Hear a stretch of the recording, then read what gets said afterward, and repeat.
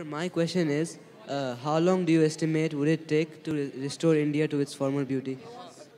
See, we must understand this. A riverbed, for example. A riverbed is a very complex and dynamic process.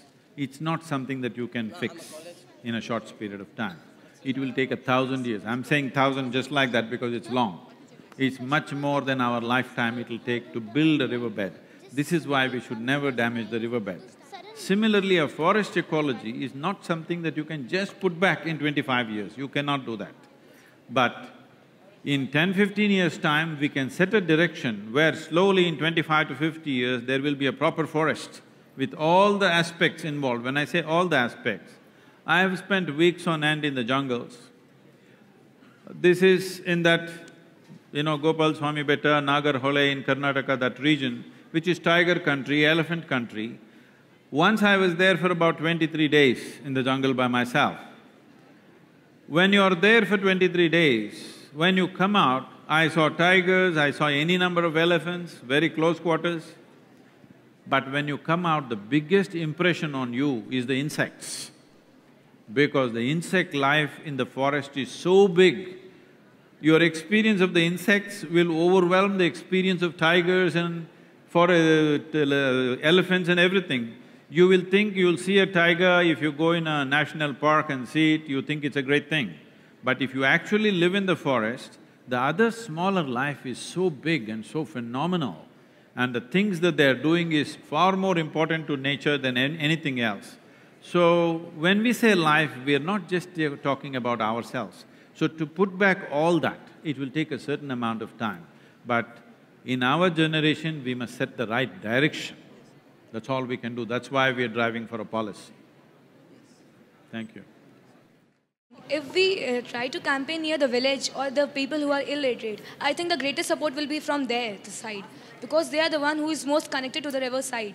Because there is no textbook in their head, they got more Yes. sense. they never pollute it. First of all, they never pollute if they don't It know how to use. it is the educated class in the world which is destroying the world. Just tell me, the uneducated, are they destroying the world? They're very eco-friendly. It is the educated. So our education itself, the way we are absorbing knowledge is not good. Our knowledge is not working for our well-being. Our knowledge is working for our destruction, which is not a good way to treat knowledge, isn't it? Thank you. Ninety-seven percent is saline water. So how we can make the saline water potable or drinkable? See, you can make saline water or the sea water drinkable with desalination process. But what is our idea? This is like many people are talking, let us destroy Earth and go and live on Mars. Why? Is it a good thing that we destroy this planet and look for another planet where we can go and destroy that also? No, sir. The water in this atmosphere is not gone anywhere. Million years ago, how much water we had, it is still there, isn't it? Only thing is, we are not getting it. Why are we not getting it? Obviously, we are doing something wrong. Is it better to correct that? Or is it better to take the seawater out and after that the sea… the fish in the sea will have no water to swim in? Is that a good thing? No. If it's an emergency, we can desalinate water for drinking purpose. But you cannot do agriculture with desalinated water, that's going to be too expensive. Expense is another matter. But in attitude, why are we thinking we will destroy this and use something else? Let us revive this, isn't it? Rivers must flow. Uh, how you go, got the thought that you start this initiative? In I was not a nice boy like you. In the sense, my my engagement with nature started very early.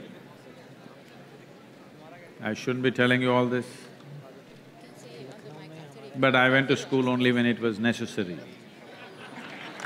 So most of the time I was in the forest. So I know what… how the forest and the mechanics of the forest works, how the animals live, how the insects survive, how the birds live, the water, everything. So, I've been just noticing things. I'm not a scientist, I'm not an environmentalist, but I'm noticing things are getting bad, very bad. So, I thought I should do something. You think I've done something wrong? No, sir. Thank you. Thank you, sir.